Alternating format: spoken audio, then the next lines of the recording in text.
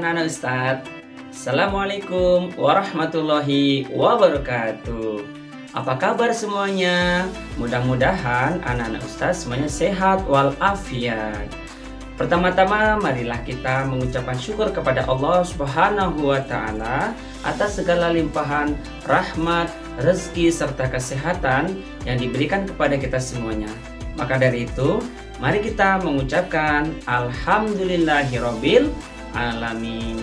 Yang kedua, solawat berserta salam kita sampaikan kepada Nabi Muhammad Sallallahu Alaihi Wasallam yang mana Rasulullah akan senantiasa menanti umatnya di pintu surga dan akan memberikan syafaatnya kepada orang-orang yang beriman.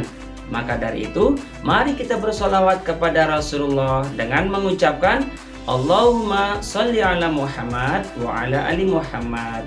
Baik anak-anak Ustadz, pada hari ini kita akan belajar surat Al-Falaq.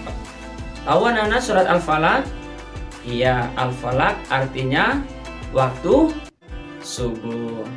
Nah, maka dari itu untuk memulai acara kita pada pagi hari ini, mari bersama-sama kita dengarkan bacaan surat Al-Falaq dengan seksama.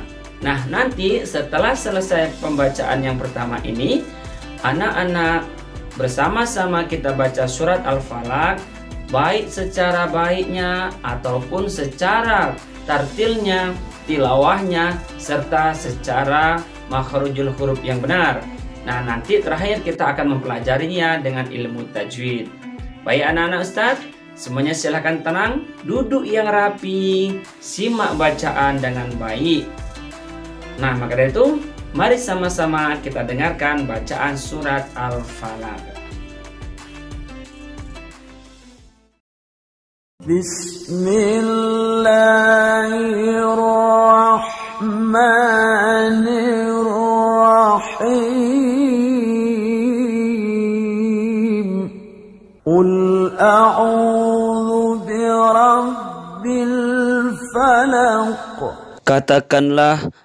aku berlindung kepada Tuhan yang menguasai subuh.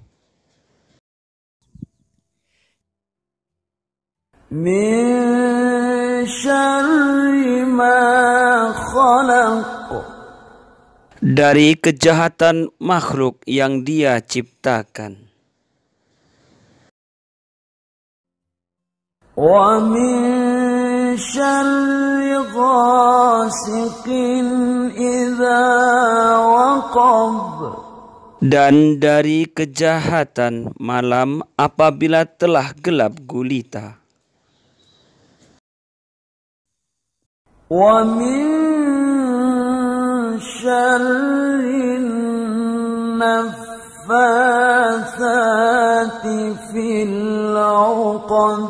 dan dari kejahatan perempuan-perempuan penyihir yang meniup pada buhul-buhul talinya.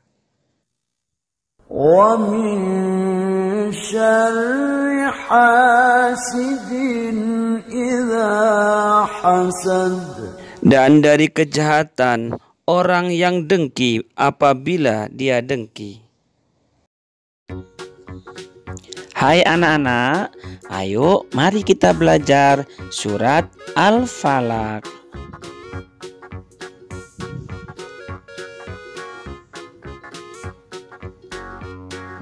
Nah, tahukah kamu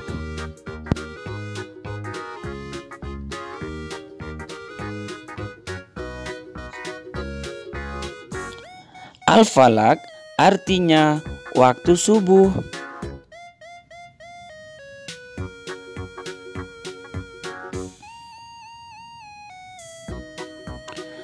Rasulullah Shallallahu Alaihi Wasallam sering membaca surat ini, terutama ketika dalam perjalanan agar selalu terhindar dari kejahatan.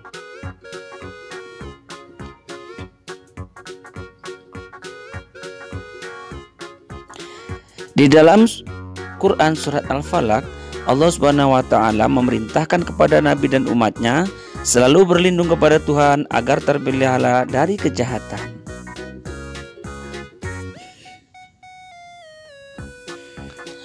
Quran Surat Al-Falaq menceritakan ada kejahatan makhluk, ada kejahatan malam apabila gelap gulita, ada kejahatan tukang sihir atau yang suka biasa membaca mantra-mantra, dan ada kejahatan orang yang dengki.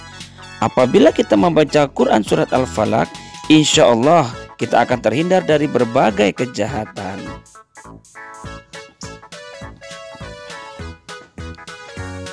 Nah, anak-anak, jangan lupa ya, senantiasa kita membaca surat Al-Falaq agar kita bisa mengalahkan sihir-sihir dari orang-orang yang tidak bertanggung jawab.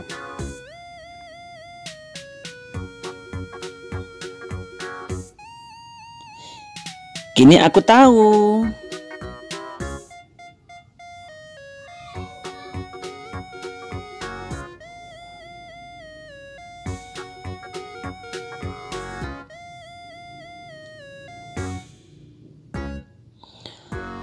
Quran Surat Al-Falaq mengajarkan kepada manusia hanya Allah tempat berlindung. Nah, demikianlah pelajaran kita hari ini.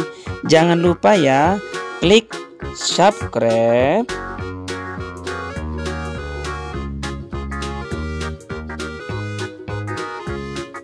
Oke, jangan lupa klik subscribe channel Guru SDIT Paten. Terima kasih, sampai jumpa lagi.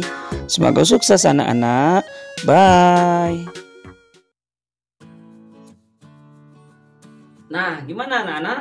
Mudah bukan? Nah, untuk berikutnya, silakan Ananda membaca dengan baik di rumah untuk diperdengarkan pada orang tuanya, kemudian diulang-ulang dan dihafal baik bacaan Al-Qur'annya maupun bacaan artinya. Dan kita akan berjumpa di pertemuan berikutnya akan membahas materi tentang Al-Falaq juga yaitu dengan menyetorkan bacaan kemudian kita akan juga belajar ilmu tajwidnya. Untuk kali ini kita cukupkan dulu ya anak-anak pelajaran kita pada kesempatan kali ini. Jangan lupa tetap jaga kesehatan, tetap belajar yang rajin, berbakti kepada orang tua dan juga jangan lupa senantiasa beribadah kepada Allah Subhanahu wa taala. Kita akhiri dengan mengucapkan hamdalah alhamdulillahirabbil alamin. Nah, demikian anak-anak, Ustadz akhiri pertemuan kita pada kesempatan kali ini dengan mengucapkan Assalamualaikum warahmatullahi wabarakatuh. Bye.